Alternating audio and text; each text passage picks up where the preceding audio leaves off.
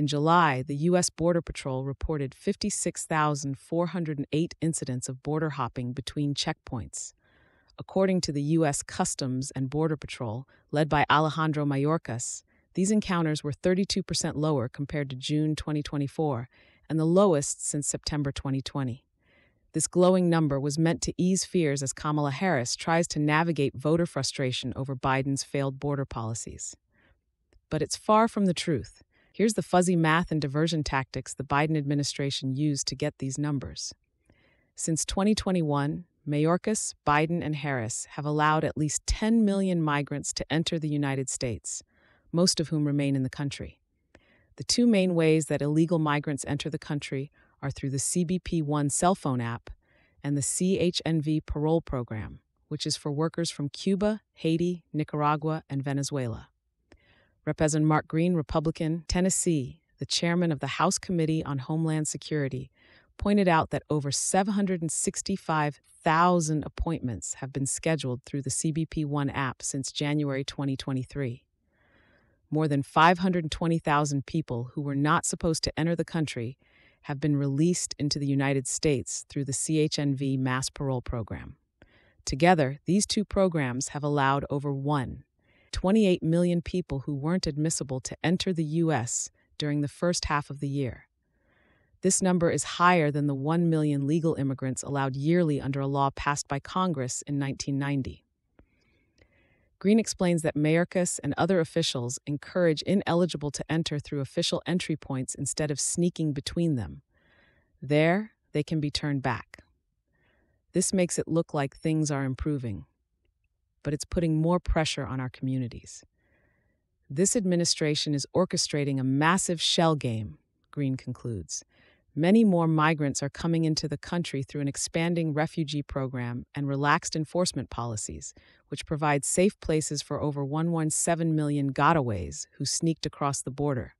New safe mobility centers are also being set up in other countries to help migrants apply for visas to enter the U.S. Additionally, Mexico's government is helping to reduce the number of migrants coming to the U.S. to prevent Trump from getting back into the White House. After the election, Mexico is expected to return to its usual policy of helping migrants get to the United States. Fuzzy math, shell games, and lies aside, the media couldn't get enough. The Associated Press reported that arrests for illegal border crossings from Mexico dropped by 33% in July, hitting the lowest level since September 2020. They said officials claim this was because asylum was paused.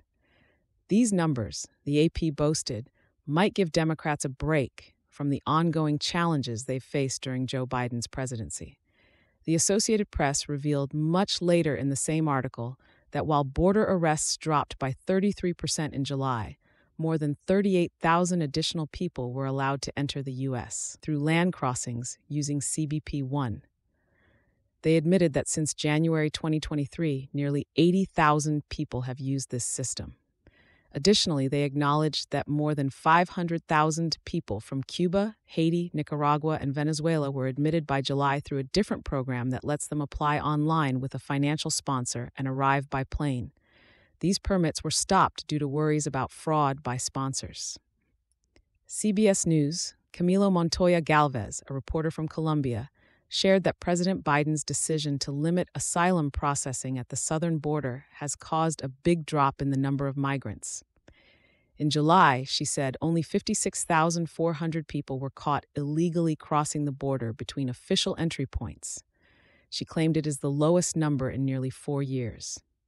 But CBS was forced to acknowledge that about half of those migrants were sent back under new policies created by Biden's team as an election strategy ahead of the upcoming election. They caution that these policies might be overturned by judges after the election. Shell games, lies, and faulty math are the only strategies Democrats have left on the issue of illegal immigration. It's a big gamble, but it's one that the liberal media is willing to invest in.